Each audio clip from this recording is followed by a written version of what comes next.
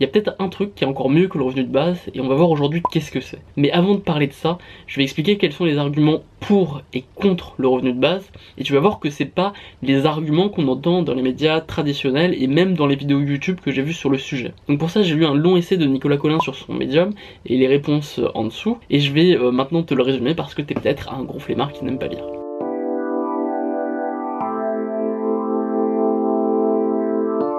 Avant de parler de revenu de base, c'est important de comprendre à quoi ça sert le revenu de base.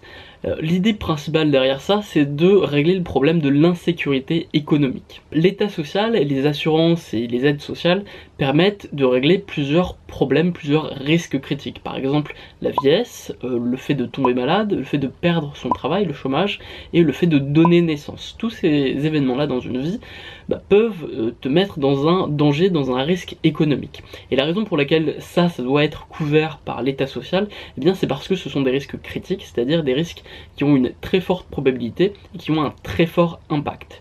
On a tous de très grandes probabilités ben, d'être vu un jour et de plus pouvoir forcément travailler. Et puis, euh, si jamais un jour tu as un cancer, eh bien c'est pas un truc qui va se régler facilement avec une assurance privée. En fait, l'état social est là pour couvrir les risques critiques qui ne sont pas couverts par le marché. En fait, il est là pour corriger les imperfections de marché. Le problème de cet état social, de manière générale, même s'il couvre pas mal de risques liés euh, au chômage, la vieillesse, à la maladie ou aux naissances, eh bien c'est que il présente une énorme bureaucratie qui a une certaine complexité, une lourdeur, une lenteur. On a beaucoup d'incompréhension par rapport à ça. Et globalement, bah, la plupart des gens euh, n'aiment pas, n'aiment pas les files d'attente, n'aiment pas la paperasse qu'il faut remplir pour euh, recevoir les aides et les assurances qu'on veut avoir. Et au milieu de cette incompréhension et de cette méfiance vis-à-vis de l'état social, eh bien le revenu de base apparaît comme une solution. En gros, il y a quatre grands arguments en faveur du revenu de base. Ces arguments, c'est la disparition des jobs, la simplicité, la portabilité et l'inclusivité. Euh, tout d'abord, en ce qui concerne euh, la disparition du travail, c'est un des arguments principaux qui est utilisé. Déjà, euh, il y a effectivement certaines personnes qui sont convaincues que le travail disparaît et que pendant les décennies, voire les siècles à venir, eh bien ça va continuer comme ça en raison de l'automatisation. Et ça, selon certains, c'est un problème qui ne peut pas être réglé, en tout cas qui ne peut pas être réglé rapidement, qui peut peut-être même pas être réglé euh, du tout sur le long terme. C'est pas l'avis de Nicolas Collin qui a écrit un autre essai euh, qui explique que euh, on peut très bien créer des jobs grâce à la révolution numérique et de la même manière que juste après la révolution industrielle, eh bien il y a eu une grande phase de chômage massif, mais ça n'a pas duré très longtemps parce que petit à petit, eh bien le marché s'est adapté et de nouveaux emplois sont apparus. Et ça pourrait être la même chose en ce qui concerne le numérique. Et pour ça, il faudrait d'abord commencer par libérer euh, la situation euh, du marché pour que de nouveaux jobs puissent être créés en améliorant un peu plus les lois et en permettant à l'État de collaborer davantage avec les startups, avec les nouvelles entreprises qui sont celles euh, qui, en tout cas aux États-Unis, créent le plus de jobs. Le deuxième argument en faveur du revenu de base, c'est la simplicité. En effet, face à la complexité de l'état social, le revenu de base promet une expérience sans friction, simple, universelle pour tout le monde. Et ça c'est particulièrement important pour les jeunes à l'ère du numérique qui sont euh, très habitués à des produits très faciles à utiliser. Mais là il y a une confusion qui est assez courante, c'est la confusion entre l'expérience utilisateur simple et un produit construit de manière simple. C'est deux choses complètement différentes. Un produit peut être simple pour l'utilisateur final, même si à l'intérieur il est compliqué. C'est les cas en particulier des smartphones, en particulier des iPhones, qui propose une expérience utilisateur qui est extrêmement simple, mais en même temps, sous la machine, eh ben, il y a une très grande complication. la confusion qui est faite en ce qui concerne le revenu de base, c'est l'idée que eh pour simplifier euh, l'état social, ce qu'il faut, bah, c'est simplifier ce qu'il y a à l'intérieur de la machine. Or, c'est pas forcément le cas. On pourrait aussi penser à simplifier l'expérience utilisateur euh, bah, de tout le monde face à l'état social, face aux assurances et face à l'aide sociale. Et ça peut paraître impossible de simplifier l'expérience qu'on a vis-à-vis de l'État comme euh, bah, l'expérience vis-à-vis d'entreprises privées du numérique a été énormément simplifiée, mais c'est possible, il suffit euh, d'employer les bonnes personnes, les gens de talent, qui sont capables eh bien d'appliquer les mêmes méthodes en ce qui concerne l'État. Le troisième argument fort en faveur du revenu de base, c'est cette idée de portabilité. Un gros problème qu'on a aujourd'hui avec l'État social, c'est que selon que tu sois étudiant, euh, travailleur, chômeur, entrepreneur dans une petite ou une grande entreprise, eh bien tout ça, bah, ça va complètement changer ton statut social et à chaque fois tu vas devoir t'adresser à différentes institutions, recevoir différentes aides, et ça c'est compliqué, et c'est des frictions dans notre expérience utilisateur. Et à ce niveau-là, eh bien effectivement, le revenu de base pourrait proposer eh bien, cette portabilité, cette simplicité au cours de la vie où on est de plus en plus amené à switcher, à changer de métier, à changer de statut de plus en plus rapidement.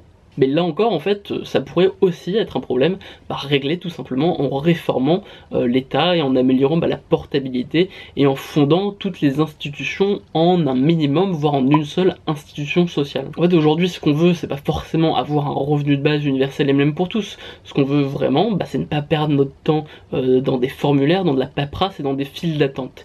Et pour ça, le revenu de base est pas indispensable. Ce qu'on voit en fait avec tout ça, c'est que le problème fondamental, c'est simplement que l'État n'a pas encore été mangé par le numérique. Alors que c'est le cas de quasiment tous les autres secteurs, on a encore l'État qui résiste à cette euh, transition numérique. Un autre argument en faveur du revenu de base, c'est cette idée d'inclusivité. S'il y a un revenu de base universel pour les riches comme pour les pauvres, eh bien, il y aura plus cette séparation entre euh, deux parties différentes de la population. Tout le monde bénéficiera de l'État social euh, d'une manière et il y aura davantage de solidarité sociale. Mais là encore, c'est un argument qu'on peut relativiser parce que quand on regarde la relation de la population vis-à-vis du RMI puis euh, du RSA, eh bien euh, il y a plutôt une méfiance et c'est plutôt euh, des choses qui donnent l'impression que certaines personnes sont des assistés et qu'on paye trop de taxes et ça peut au contraire créer davantage de scepticisme, davantage de méfiance des personnes les plus riches, voire des classes moyennes, vis à -vis de l'État. Et c'est là que commence en fait la critique forte du revenu de base, c'est que ce revenu de base peut aussi amener la population à remettre en cause euh, l'état social existant. Et le problème du revenu de base, c'est qu'il n'est pas suffisant parce qu'il ne permet pas du tout, même s'il est assez élevé, il ne permet pas du tout de régler des problèmes comme gérer un cancer ou alors gérer des problèmes de logement. Pour ça, il faut plutôt euh, conserver ou améliorer l'état social existant. Mais si on met en place un revenu de base, eh bien ce sera de plus en plus difficile de défendre ce système-là. Ensuite, une critique qui est faite par Nicolas Collin en ce qui concerne le revenu de base, c'est que c'est une idée qui n'est défendue avec conviction par personne. Ce que nous explique Nicolas Collin, c'est qu'il a fallu du temps pour que les institutions sociales se mettent en place euh, en France, et euh, il a fallu aussi pour ça que des gens soient prêts à lutter. Les nouvelles institutions sociales sont pas mises en place par des intellectuels ou par des auteurs, mais plutôt par des mouvements ouvriers capables de changer le rapport de force avec euh, leurs employeurs à travers des syndicats. Le problème du revenu de base, c'est qu'il ne polarise pas suffisamment, il n'y a pas assez de gens prêts à vraiment lutter pour lui. On rencontre difficilement des gens pour lesquels le revenu de base, c'est vraiment une question de vie ou de mort.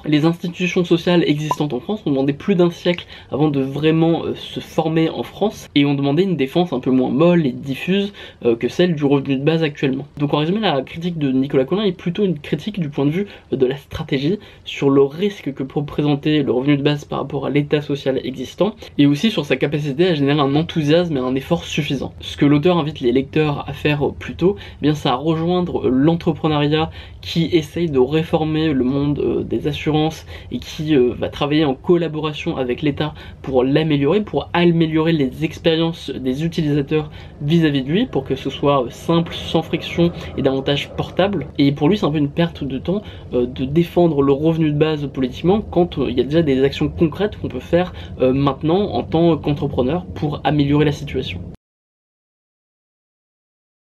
Et ensuite, sous euh, cet article, dans les commentaires, il y a plusieurs critiques intéressantes, et je vais essayer de les résumer et de résumer d'autres critiques que j'ai trouvées.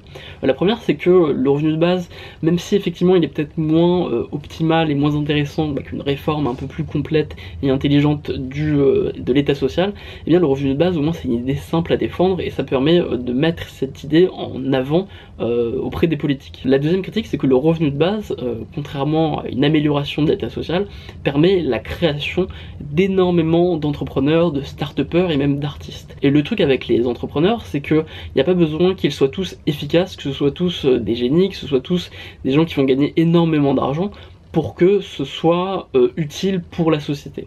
Il suffit qu'il y en ait un pour mille pour que ça marche en fait.